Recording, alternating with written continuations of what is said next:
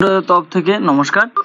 আমরা চলে আসছি আজকে দ্বিতীয় টিউটোরিয়াল সিরিজ কিউবেসিকে আজকে এটা দ্বিতীয় ভিডিও প্রথম ভিডিওতে দেখেছিলাম মানে জেনেছিলাম কিউবেসিকটা কি। কিউবেসিক কম্পাইলারটা কি করে ডাউনলোড করতে হয়, আর আমাদের কি দরকার। মানে আমাদের কোন কোন ক্লাসে আমাদের বেসিক্যালি ইউজ হয়। তো এই ভিডিওতে আমরা কিউ বেসিক উইন্ডোটাকে দেখে নেব। কিউ বেসিক উইন্ডোটা দেখব ঠিক এরকম। কিউ বেসিক উইন্ডোটা আমি অ্যাকচুয়ালি অন করেছিলাম।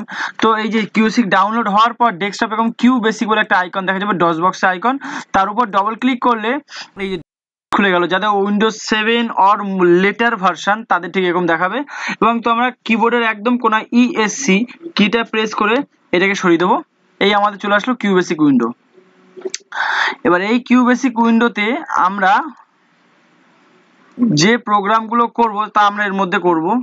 তো প্রথমে উইন্ডোটার পরিচয় দিই উইন্ডোটার পরিচয় হলো গিয়ে উইন্ডোটা বেসিক্যালি ফুল স্ক্রিন হবে অল্ট এন্টার কিবোর্ড থেকে অল্ট এন্টার একসাথে প্রেস করলে ফুল স্ক্রিন হয়ে যাবে। আবার অল্ট এন্টার একসাথে প্রেস করলে সেটা এক সেকেন্ড শর্ট সেই আগের স্ক্রিনে চলে আসবে।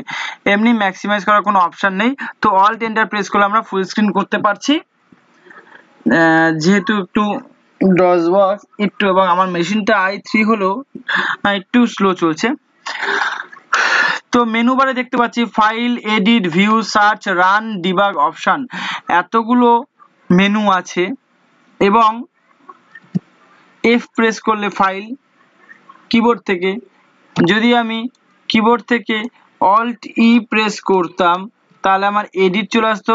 কিবোর্ড থেকে যদি অল্ট ভি প্রেস করতাম, তাহলে আমার ভিউ চলে আসতো। Basically alt is call hot key দেখি অল্ট কিটা যেই কিবোর্ড থেকে প্রেস করলাম সেমনি কোন কি কোন কি প্রেস করলে কি হবে? যেমন এখন আছে, আমি ওপেনটা ও প্রেস আনতে চাই। তাই কিবোর্ড থেকে ও প্রেস করলাম ওপেন খুলে গেল। এবং যদি আমি ডিসপ্লে করতে চাই ডি আবার ডি প্রেস করব ডিসপ্লে খুলে যাবে। তো এইভাবে আমরা কোনো সেটিংস চেঞ্জ করতে পারি। কিবোর্ড থেকে পারলাম। আমাদের যাদের বইতে কিউ বেসিক নেই, অনেক বইতে ছোট ছোট বন্ধুদের বা ভাই বন্ধুদের বইতে আমরা দেখতে পাবো জিডব্লিউ বেসিক বলতে চাই GW basic Q basic more or less কিছুটা এক মিল আছে।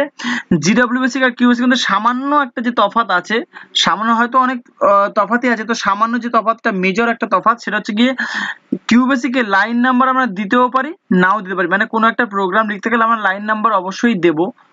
দিয়ে প্র্যাকটিসটা করব। কিন্তু জিডব্লিউ বেসিক কিউ বেসিকে সেটা লাইন নাম্বার না দিলেও প্রোগ্রামটা রান করতো। বাট জিডব্লিউ বেসিক অবশ্যই লাইন নাম্বার দেবে। লাইন নাম্বার না দিলে প্রোগ্রাম রান করতে পারবে না। ঠিক আছে, তো আমরা আবার বেসিকের আগে বেসিকের সম্পূর্ণ অর্থ জানি basic B A S I C বেসিকের full form হলো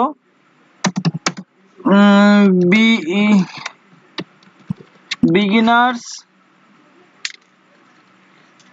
purpose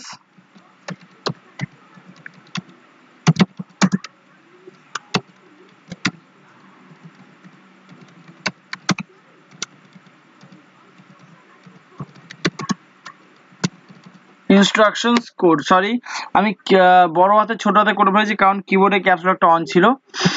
তো যাই হোক, এইভাবে এটা হচ্ছে কি বেসিকের একটা সম্পূর্ণ অর্থ। সরি একটা ফোন চলে এসছে। তো বেসিকের এই এইভাবে আমরা বেসিক অপশনটা ইউজ করতে পারি। নেক্সট ভিডিওতে কথা হচ্ছে আমাদের।